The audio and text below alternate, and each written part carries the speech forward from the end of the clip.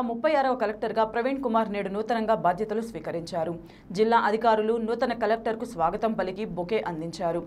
జిల్లా విషయానికి వస్తే మూడు విభిన్నమైన ప్రాంతాలు దానికి తగ్గట్టుగానే ప్రజలు ప్రజాప్రతినిధుల వైఖరి అంతకు మించి ప్రాంతాల వారి అసమానతలు సమస్యలు కరువైన శాశ్వత అభివృద్ధి అవకాశాలు. ఇది జిల్లా ముఖ చిత్రం. ఇలాంటి విభిన్న పరిస్థితుల నేపథ్యంలో అధికార యంత్రాంగంపై ఒత్తిడి అధికమే. జిల్లా సర్వోన్నతాధికారిగా వ్యవహరించే కలెక్టర్ పాత్ర అత్యంత ముఖ్యం. వివిధ స్థాయిల్లోని ప్రజాప్రతినిధులు అధిక యంత్రాంగాన్ని సమన్వయపరచడమే ప్రధానం. జిల్లా అభివృద్ధికి కీలకం కానుంది. జిల్లాకు ముప్పై ఆరవ కలెక్టర్గా నియమితులైన ప్రవీణ్ కుమార్ బీహార్కు చెందిన రెండు వేల ఆరు బ్యాచ్ ఐఏఎస్ అధికారిగా గతంలో విశాఖ పశ్చిమ గోదావరి కలెక్టర్గా పనిచేసిన అనుభవం ఉంది. ప్రస్తుతం జిల్లా కలెక్టర్గా బాధ్యతలు తీసుకున్న ప్రవీణ్ కుమార్ ఎదుట అనేక సవాళ్ళు కనిపిస్తున్నాయి. తక్షణం జిల్లాలో కరోనా కట్టడి చర్యలపై దృష్టి సారించాల్సి ఉండగా నవరత్నాలు అమలులతో పాటు వాటికి సంబంధించిన లబ్ధిదారులు ఇతర ప్రజా సమస్యలు ఎదురుచూస్తున్నాయి. ఇక శాశ్వత అభివృద్ధి ఉపాధి మార్గాలు మౌలిక సదుపాయాలు మెరుగుకు సంబంధించిన అనేక ప్రాజెక్టుల పురోగతి ఆవశ్యం కాగా భూసేకరణ నిర్వాసితుల పునరావాస సంబంధ అంశాలు కాస్తంత జటిలమైనవిగానే ఉన్నాయి. మరోవైపు మారిన రాజకీయ పరిస్థితి ఉన్నత స్థాయి పర్యవేక్షణ కొరవడంతో ప్రభుత్వ శాఖల్లో జడత్వం పేరుకుపోయింది. వీటన్నింటినీ అధిగమించి ముందుకు సాగడం నూతన కలెక్టర్కు సవాలే.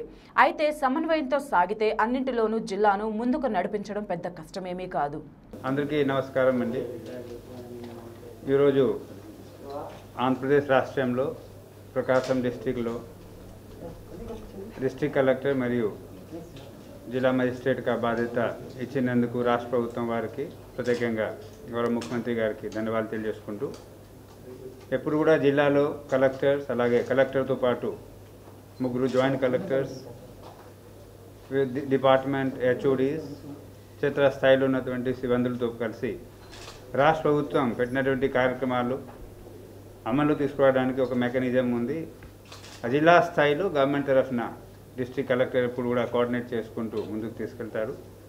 ముఖ్యంగా జిల్లాలో గౌరవ మంత్రి గారు ఉన్నారు. అలాగే ఎంతోమంది ఎలక్టెడ్ రిప్రజెంటేటివ్ ఎమ్మెల్సీ అలాగే ఎంపీ ఎమ్మెల్యేలు ఉన్నారు. వాళ్ళందరూ సలహాలు సూచనలతో గౌరవ మం- గౌరవ మంత్రి గారు నేతృత్వంలో ఎందుకంటే జిల్లాలో ఆయన హెడ్ ఆఫ్ ద గవర్నమెంట్ అన్నమాట. అలాగే జిల్లాలో ఇన్ఛార్జ్ మినిస్టర్ కూడా ఉంటారు ఈ ముఖ్యంగా జీరో కరప్షన్ టాల్ జీరో కరప్షన్ పాలసీ ఏదైతే ఇప్పుడు రాష్ట్ర ప్రభుత్వంలో నడుస్తుందో అందరికీ తెలుసు అన్నీ కూడా డైరెక్ట్ బెనిఫిట్ ట్రాన్స్ఫర్ ఏదైతే వెల్ఫేర్ స్కీమ్స్ ఉన్నాయో అన్ని డైరెక్ట్ బెనిఫిషరీ అకౌంట్లో కూడా అకౌంట్లోనే జమ అవుతుంది కాబట్టి ఈ ట్రాన్స్పరెన్సీ ఏదైతే రాష్ట్ర ప్రభుత్వం ఆలోచనతో ఇంప్లిమెంట్ చేస్తున్నారు జిల్లా స్థాయిలో కూడా హెచ్ఓడిఎస్ స్థాయిలో క్షేత్ర స్థాయిలో ఉన్న వార్డ్ సెక్రటరియట్ కానీ విలేజ్ సెక్రటరియట్ కానీ ఎక్కడ కూడా ఎలాంటి కరప్షన్ కానీ ఎలాంటి అవకాశాలు లేవు. దేశంలోనే one of the backward districts so they nothing to various reasons ఉన్నాయి ఇక్కడ అది మళ్ళీ తర్వాత మాట్లాడతాము. సో ఇది ఒక ఆపర్చునిటీ సో ఇటువంటి జిల్లాలో పని చేయడం కూడా అందరికీ అవకాశం రాదు. నాకు అవకాశం వచ్చింది కాబట్టి. ఖచ్చితంగా social and economic life of the people of the Prakasam ఏ విధంగా ఇంప్రూవ్ చేసుకోవాలి ఆలోచనతో కూడా ఇక్కడ పనిచేస్తాము. నవరత్నాలతో పాటు హై కొన్ని బిగ్ టికెట్స్ ప్రాజెక్ట్స్ ఉన్నాయి అందరికీ తెలుసు. రామాయణపట్నం పోర్ట్ కావచ్చు వెలుగొండ ఇరిగేషన్ ప్రాజెక్ట్ కావచ్చు. అమూల్ లాంటి కార్య కార్యక్రమాలు కూడా కోఆపరేటివ్ కూడా మన జిల్లా నుంచి స్టార్ట్ అయింది కాబట్టి అది కూడా స్ట్రెంథన్ చేసుకుంటూ ప్రకాశం డిస్టిక్ ఈ అటువంటి ఇటువంటి కార్యక్రమాల ఇంప్లిమెంటేషన్లో ఒక రోల్ మోడల్గా మన స్టేట్లో కూడా గుర్తు గుర్తు రావాలి. ఈ కార్యక్రమం గు- గుర్తించి రావాలి ఈ కార్యక్రమంలో ఆ, స్థాయి నుంచి జిల్లా స్థాయి అధికారులు అందరూ కూడా సహకరిస్తారు. అన్న నమ్మకంతో ఈరోజు నుంచి నేను బాధ్యత నిర్వహించడం జరుగుతుంది. ఇక ఈ వచ్చే